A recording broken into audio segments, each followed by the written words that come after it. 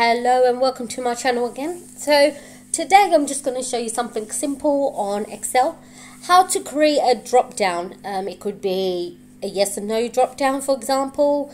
It could be a um, red, amber, green rag status. Um, it could be uh, a list of requirements like in progress, closed, um, not started for example. So I'm just going to show you yes or no. I'm going to carry on from the spreadsheet that I had from my previous videos. Um, so this is just basically a shopping list of um, Christmas um, Christmas dinner, I guess. And it's got the prices, quantity and the total. So in this column, I'm just going to put um, um, purchased if I've brought it already or not and I'm just going to put yes or no next to it. So we know that if I've brought this already or not. So as you can notice it's going overlapping over two two columns and I don't want that. I don't really like it. I like it to read easy. So if you just go to home and wrap text that will literally just fill the box up.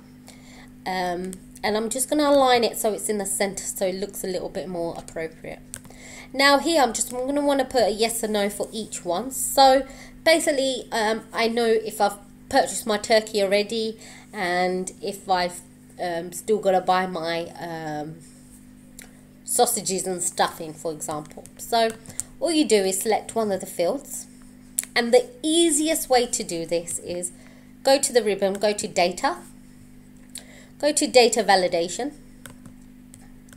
data validation and this pop-up comes up. So all you need to do here is select from allow to list.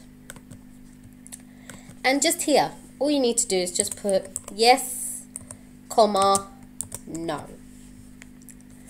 You can put anything else you want to. I just need a yes and no field.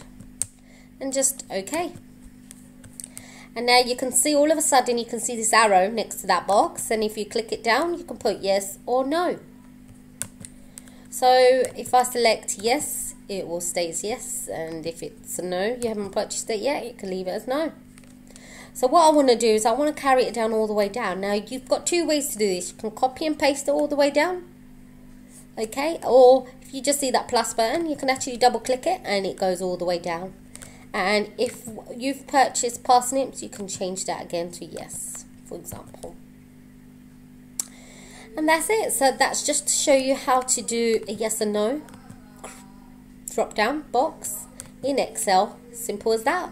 If you have any questions or comments, please comment below and uh, thank you for listening.